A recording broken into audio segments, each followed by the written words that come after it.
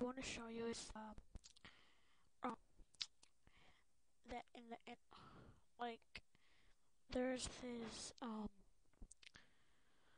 well there's not this side but like to show you because some people have, have been asking in YouTube about the about the how you call it Rockbox thingamajig in your iPod. So and then they were asking about Rock Boy, right? So then they said, um, where can we find ROMs, right? And then I said, oh, I know it's illegal, but I'll just try putting it up. The site is called rombomb.com. There we have it, rombomb.com, and show you how to get it, get it, get uh, the actual, um, the actual thing. It's loading. Um, well, yeah, you can actually pick almost any any ROM that you want, but it has to be Game Boy Color. It can't be Game Boy Advance or anything like that because it want it, it's it it just won't support it. As you can see, um, this is the main page.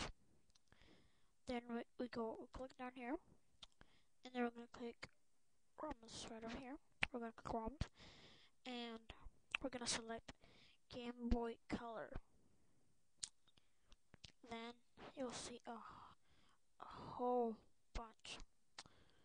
See right here. So some people think Super Super Mario. Um, you go to S. It's not actually Super Mario. Have you noticed? It says Super Mario Bros. Deluxe because it's a different version. But you can still play it on it though. And Rockbox is pretty good.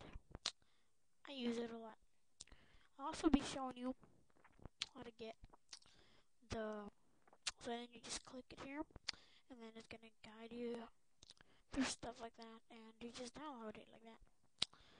So another thing I wanted to show you is um the themes because you know how people um be saying like hey you know the the themes are like cool? Well in order to get them don't know well some people don't know how to put them in their iPod so I decided to have this tutorial too so here we have. We're gonna click on extras. Then we click on themes. And we see our rockbox themes slash themes.org and click whatever thing you have. I have an iPod video. So in my case I have an iPod video. But this is pretty cool. At it. Take a look You can see them uh, you scroll down and then it shows you how it looks when you're playing music. And wait, gotta load. There we go. So that's how it's gonna look when in, in the theme, like like when you first get it, I think it's gonna be baby blue. And then when you start playing music, it's gonna look like that. It's gonna look like that. So to download it, just click it, and then it's gonna download. And you simply click in that file and then there's going to be a folder called Rockbox. Then you, you select that folder, you click extract tool, and then you extract it to your iPod's root, not not the, not the Rockbox folder, to your iPod's root. So right there you have it on your iPod's root.